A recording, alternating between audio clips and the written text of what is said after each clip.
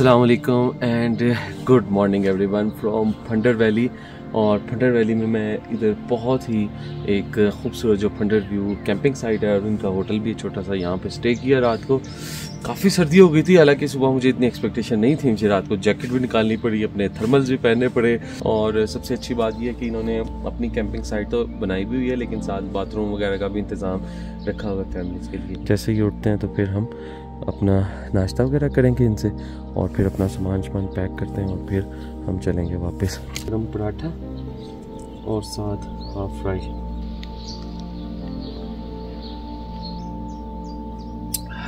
पराठा बहुत क्रिस्पी बना हुआ है।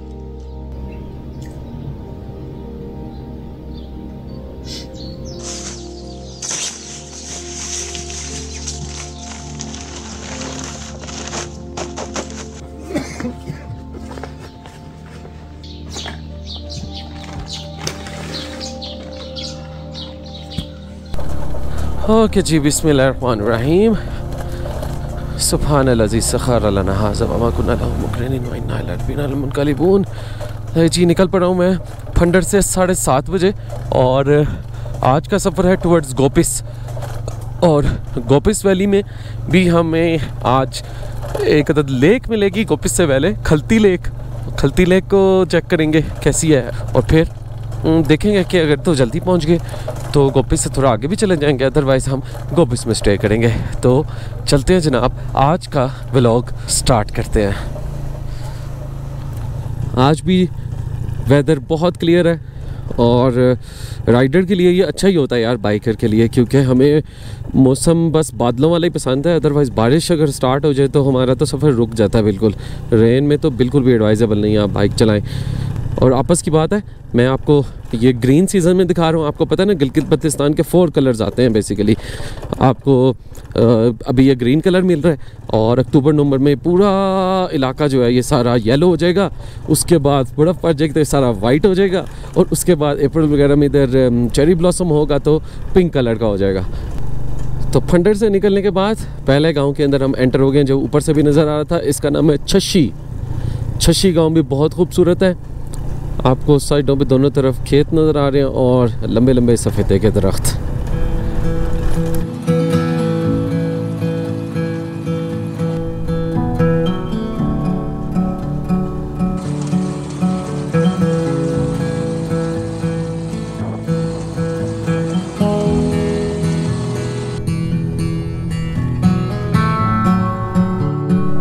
अलकुम।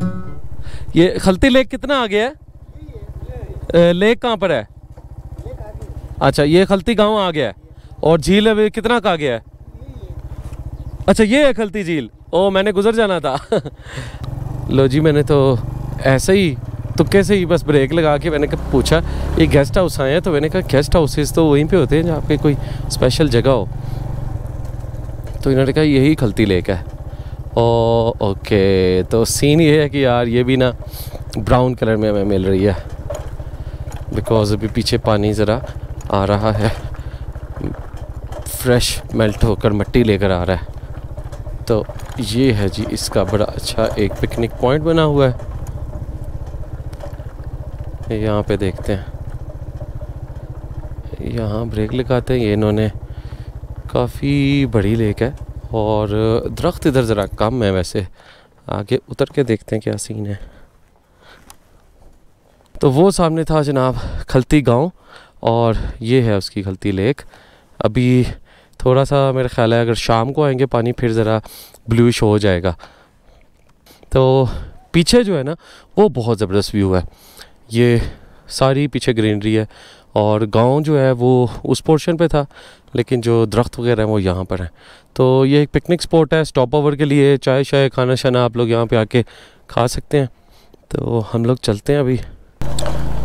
Okay living from Khalti lake ये अगर हम इवनिंग टाइम पे आएँगे ना तो वाकई बहुत प्यारा लगेगा नो no डाउट तो हम अभी निकलते हैं। इधर बहुत प्यारी ग्रीनरी है यार। बहुत खूबसूरत।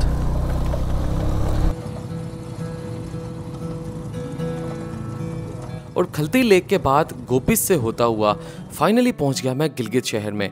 और वहीं से एक रोड लेफ़्ट की तरफ़ लिया और आ गया मैं नलतर एक्सप्रेस वे के ऊपर। मैं बिल्कुल भी एक्सपेक्ट नहीं कर रहा था कि नलतर की रोड इतनी ज़बरदस्त बन चुकी होगी, जिससे मुझे अंदाज़ा हो गया कि नलतर वाकई एक बहुत ज़बरदस्त स्पॉट बनने जा रहा है। शुरू में तो एक खुली रोड आती है, लेकिन उसके बाद आप नलतर वैली में एंटर होना स्टार्ट हो जाते हैं, जहाँ एक साइड पे दरिया और दोनों तरफ़ आपके पहाड़ की चट्टाने थ्रू आउट टॉप तक आपके साथ जाती हैं। बस आखिरी पोर्शन थोड़ा अंडर कंस्ट्रक्शन था, जो स्लोली स्लोली कवर करने के बाद मैं नलतर चेक पोस्ट पे पहुँच गया। चले जी, ये दो रास्ते आए थे, यहाँ से मैं हो गया हूँ राइट साइड के ऊपर और राइट साइड पे हम लोग सफ़र करते हुए जा रहे हैं। जी 12 किलोमीटर हमने करना है और एक घंटा ऑलमोस्ट हमें यहाँ पे लगेगा। जी, छोटे से चश्मे आ रहे हैं हमारे। इन चश्मों को क्रॉस करते हुए और रोड अब यहाँ से बहुत ज़्यादा रफ है।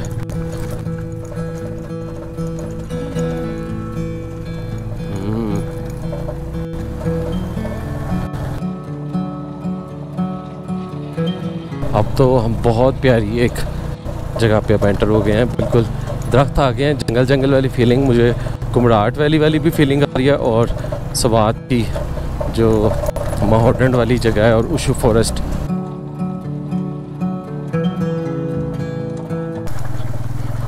ओए ये तो पानी सारा का सारा रोड पे आ गया।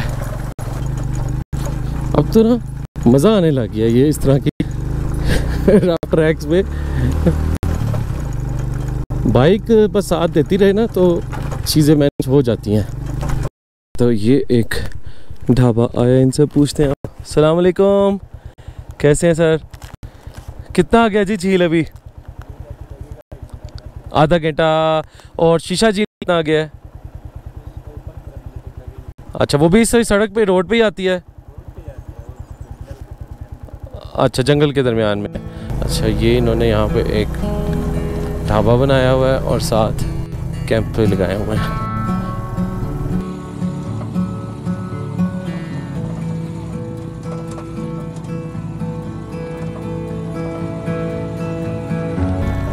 सुकून है यार इस जंगल के अंदर। ज़रूर आएँ आप, अगर एडवेंचर लवर हैं तो आएँ ज़रूर। बाइकर्स को तो मैं जितना कोशिश कर रहा हूँ ना पंप कर सकूँ। ये रास्ते दिखा दिखा के।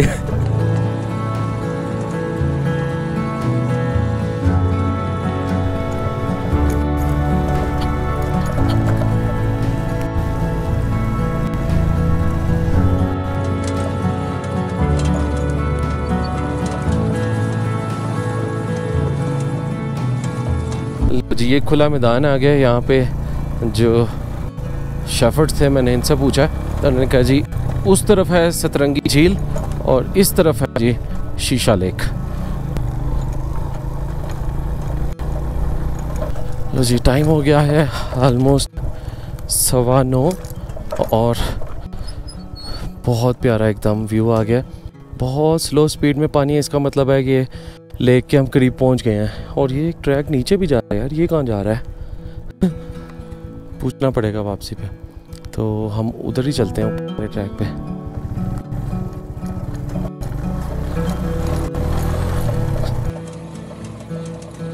और मजीद इसी जंगल में आगे जाने के बाद फाइनली पहुँच गया मैं एक लेक के पास, और यही थी सतरंगी झील। बाकी झीलों पे पहुँचते ही पहला मंजर ही सबसे इम्प्रेसिव होता है। लेकिन ये झील ऐसी है कि पहली नज़र पड़ने पर तो आपको सीधा डिसअपॉइंटमेंट होती है। लेकिन जैसे ही आप इसके पास जाते हो तो इसकी खूबसूरती आपको फील होना स्टार्ट होती है। ये पाकिस्तान की वाहिद झील है, जो बिल्कुल ट्रांसपेरेंट है। और ट्रांसपेरेंट होने की वजह से इसके नीचे मौजूद हर तरह की नबातात और मिट्टी की वजह से इसके डिफरेंट कलर्स नज़र आते हैं। कहीं ग्रीन, कहीं ब्राउन, कहीं येलो और कहीं लश ब्लू कलर और इसी वजह से इसको कहा जाता है सतरंगी झील. और आपको तो पता ही है कि झील मिल जाए और फिर ऐसा मंजर हो तो इस पॉइंट पे कॉफ़ी पीना तो आपके भाई का मस्ट है.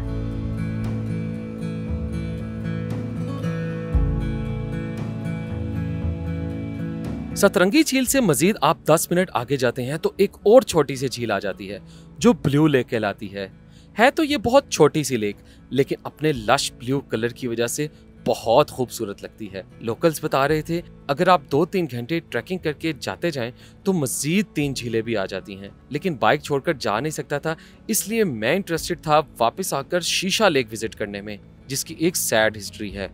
ये झील आज से दो साल पहले ही बनी, बिल्कुल वैसे जैसे अताबाद लेक बनी। इस गाँव के चार पाँच शेफर्ड्स अपनी बकरियाँ चरा रहे थे कि अचानक एक बहुत बड़ी लैंडस्लाइड हुई और वो सब उसके नीचे आ गए और पीछे से आते हुए पानी ने एक जंगल में ही झील की शक्ल ले ली। क्योंकि इन चार लोगों में से गाँव का एक नामवर बंदा शीशा खान भी था, इसलिए इस झील का नाम भी शीशा लेक रख दिया गया। अगर आप इस झील पर गौर करें तो ये झील इंतहाई मुनफरिद है। आपने कभी ऐसी झील नहीं देखी होगी। जिसमें आपको इतने बड़े बड़े दरख्त लगे हुए नज़र आए और पानी का कलर भी मिल्की वाइट खूबसूरत बहुत है, लेकिन उदास भी। शीशा खान का नाम अब सारी दुनिया याद करेगी तो शीशा लेक से दोबारा अपनी बाइक पकड़ी और मैं वापस अपने चेक पोस्ट वाले पॉइंट पे आ गया और नलतर के उस पॉइंट की तरफ़ आ गया जहाँ इंटरनेशनल स्कीइंग फेस्टिवल होता है और चेयर लिफ्ट भी लगी हुई है। लेकिन समर्स में क्योंकि स्कीइंग हो ही नहीं रही थी तो मैं अब ज़्यादा इंटरेस्टेड था पाकिस्तान की एक और रेयर स्पीशी स्नो लेपर्ड देखने के लिए। ढाबों के पास अपनी बाइक खड़ी करके तकरीबन 10 मिनट की ट्रैकिंग करके अगर आप ऊपर आए तो एक पूरा पहाड़ इस स्नो लेपर्ड के लिए डेडिकेट किया हुआ है। लवली ओ बैठा हुआ है। लवली come here अरे, up. लवली है जी हाँ, लवलिया, इसको बुला रहे हैं नहीं आ रहा। हाँ हाँ down अच्छा इसको आप टच भी कर सकते हैं। ग्रेट यार।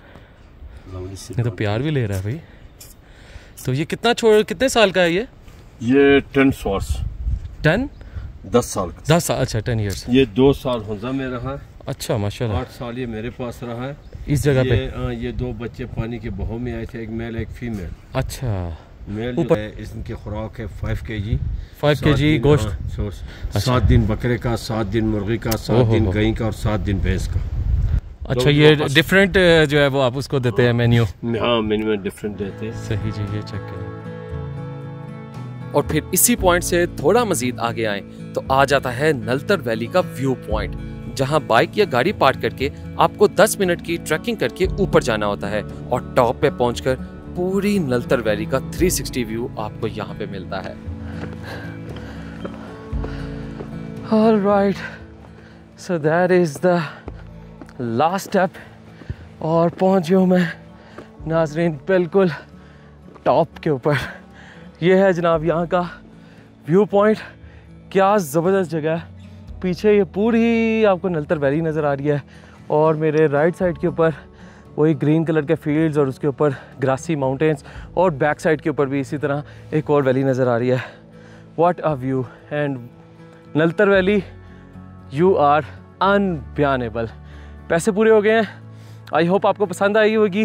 गिलगित बल्तिस्तान की सीरीज़ हमारी जारी है और सफ़र हमारा स्टार्ट हुआ था गिलगित गिलगित बल्तिस्तान के बॉर्डर शंदूर से और वहाँ से सफ़र करते हुए मैं पहुँच गया था नलतर। और अगले एपिसोड में मैं आपको दिखाऊँगा इन जीबी का कोई और अच्छा सा गाँव और प्लस उसी तरह का कोई लोकल मुझे अगर होस्ट मिल जाते हैं तो उसके एक्सपीरियंस का फिर एक अपना ही मज़ा होता है। So that's all from Naltar valley. मिलता हूँ आपसे नेक्स्ट एपिसोड में। वीडियो पसंद आए तो अपने फ्रेंड्स और फैमिली के साथ ज़रूर शेयर कीजिएगा और सब्सक्राइब का बटन भी ज़रूर दबाइएगा। ताकि नई आने वाली जो एपिसोड्स हैं, उसका आपको नोटिफिकेशन मिल सके। इंस्टाग्राम पे बींग ट्रेवलर को लाइक करना और फॉलो करना मत भूलिएगा। मिलता हूँ आपसे नेक्स्ट एपिसोड में।